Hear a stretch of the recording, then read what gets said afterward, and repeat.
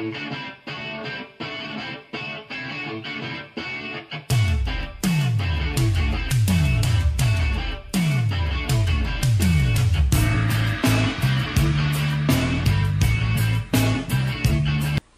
galera, Moterene aqui na área de novo pra vocês e começando esse vídeo, né? Vou mandar aí um abraço para algumas pessoas que me pediram pelo YouTube e pelo Face, né? Um abraço para amiga Rafaela Fantini, lá de Filadélfia, né? Dos Estados Unidos, que me acompanha pelo, pelo, pelo, pelo YouTube, pro esposo dela, o Tom, hi Tom.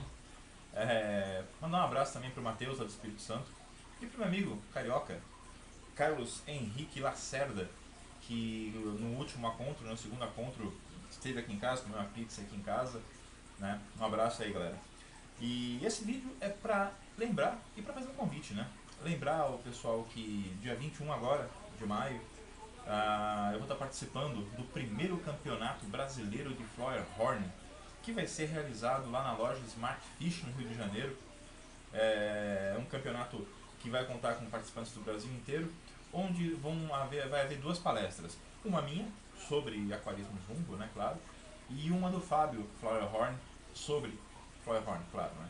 Beleza, galera? A entrada lá é franca, não tem que pagar nada.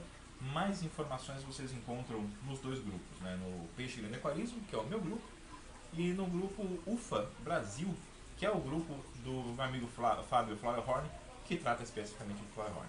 Beleza, pessoal? Vídeo curtinho, por enquanto é só. Valeu!